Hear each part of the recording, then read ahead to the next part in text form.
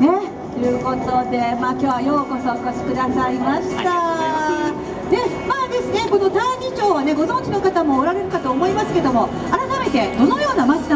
のか大義町の方はですね、はいはい、あのえー、世界遺産で有名な、えー、熊野那智大社のある那智勝浦町さんの隣にある、はいはい、えー、大義町、えー、気候の温暖な、えー、町となっております、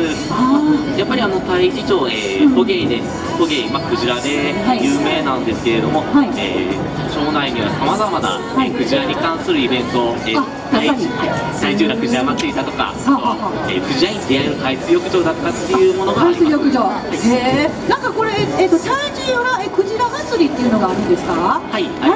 これはどのようなお祭りなんですかね？はい。えーとですね、ま簡単に言いますとその町内の、えー、漁港古谷広場というところで、はい、えー、町内の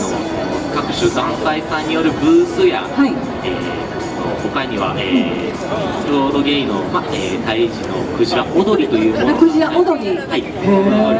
ジラ踊り様をそのまま踊りにしたようなものがあったりだとか、はい、あとは今回来させていただきました大枠さんや、うん、えー、姉妹都市である、はい、えー、長野県の白馬村さんの方が来ていただいてブース出店していただいたりなどいろいろ見どころのあるお祭りとなっております。